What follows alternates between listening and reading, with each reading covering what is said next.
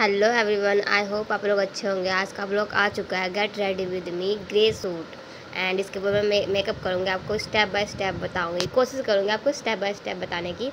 सबसे पहले मैंने यहाँ पे मॉइस्चराइज़र लगाया है। मेरे पास दूसरा मॉइस्चराइज़र है नहीं तो इस, मैंने इसलिए ये लगा लिया। यहाँ पे मैं सनस्क्रीन अप्लाई कर रही हूँ। पपाया का सनस्क्रीन है। बहुत अच्छा है। मैं इसको रेगुलरली भी यूज़ करती हूँ डेली भी यूज़ करती हूँ इसको अच्छे से।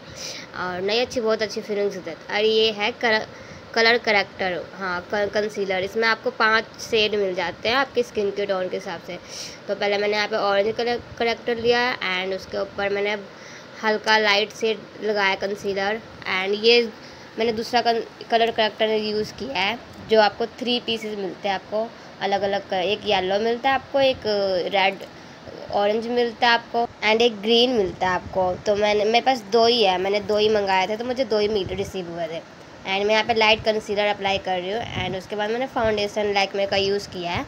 एंड इसको अच्छे से ब्यूटी ब्लेंडर से ब्लेंड करूँगी। मैंने ब्यूटी ब्लेंडर को पानी में भिगो के रखा था दस से पंद्रह मिनट के लिए।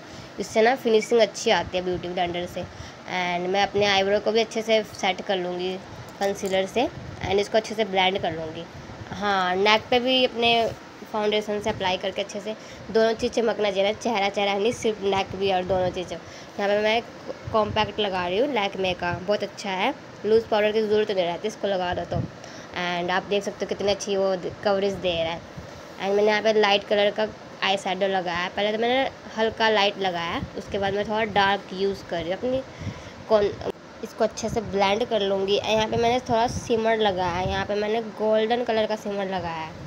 है, मैंने गोल्डन कलर का सिमर लगाया एंड दो, जो मैंने ऊपर लगाया था अपने आई साइडों पर उन उन दोनों को मिला के नीचे स्मच कर लूँगी।